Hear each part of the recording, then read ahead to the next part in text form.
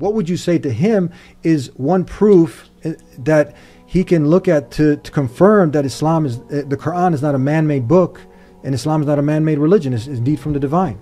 Being an expert in the Quran. Well, um, lots can be said. Um, I'd start off by my own journey. to share. Can you hear him? A couple of things. Can you hear him. Andrew? I can hear. Yeah, yeah. yeah. Okay. Uh, nice talking to you. Uh, I think that I what I like to do uh, when I meet with audiences, uh, professors of other faiths, and you know intellectuals, anybody, uh, is that I like to invite them to explore the Quran, um, you know, intellectually and critically. Uh, that's an invitation that the Quran gives.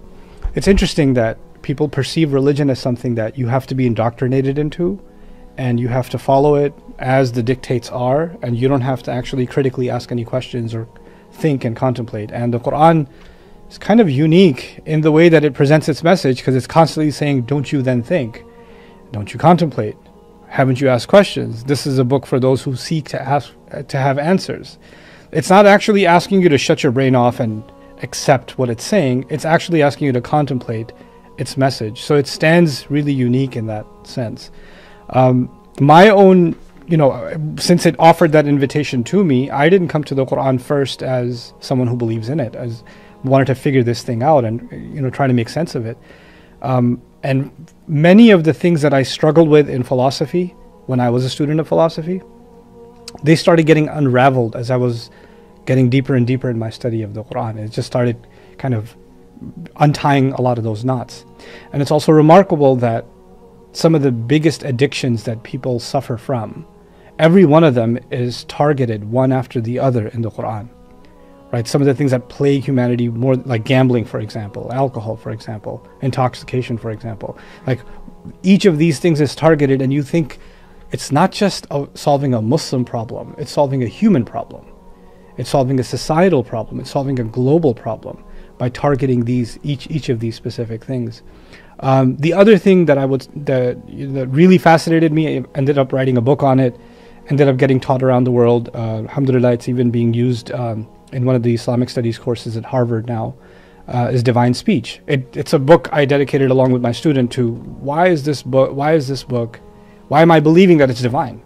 What's making me think this? And I wrote it for a non-Muslim audience actually.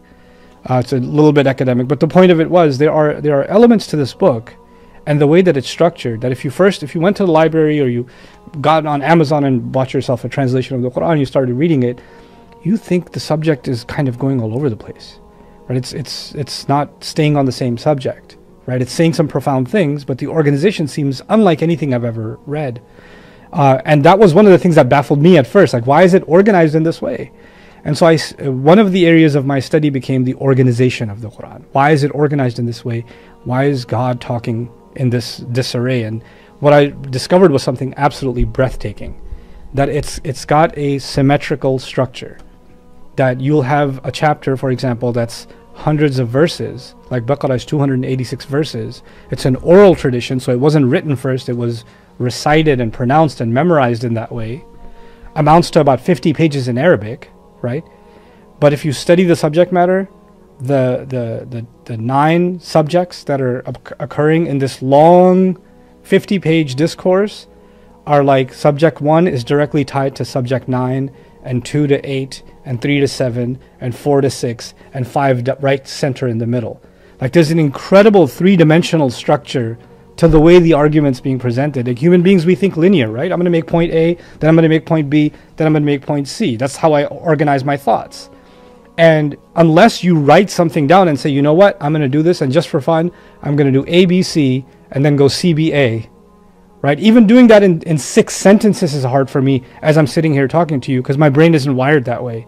But this thousand, you know, millennium and a half old tradition has got multiple surahs and multiple chapters where this kind of a structure is demonstrated over and over again and other kinds of structures you're like this is not possible for a human being to do linguistically it's not possible i'm a, a student of linguistics it's just not possible these kinds of structures this kind of organization that that's one of the things i wrote about in the book and i started ended up teaching courses on this stuff um, but for just at a just to take a step back level my invitation to anybody is put your preconceived notions aside. Take what you may have heard about Islam, what you may have thought about it from your own faith tradition's point of view.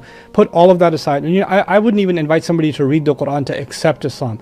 Read the Quran neutrally and get a first, uh, you know, an unbiased impression.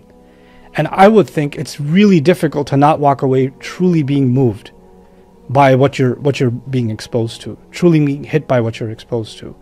Uh, the, the final thing I'll say is there is a huge tragedy in the world today that even most Muslims aren't as aware of the Quran as they should be, right? So Muslims don't become a really good representation of the contents of the book, right? So even disconnecting yourself from the Muslim bias, I'm just going to read this for myself with no other influences as much as possible. At the end of the day, human beings can are going to have some bias or the other, but as much as I can consciously be disconnected from bias and give it a shot and, read it, I think that that would be my invitation to anybody. Andrew, any question? Any uh, final question? Anything you'd like to ask him while he's here? What happened was because we got delayed with the program. He, next guest was coming in, so uh, with you.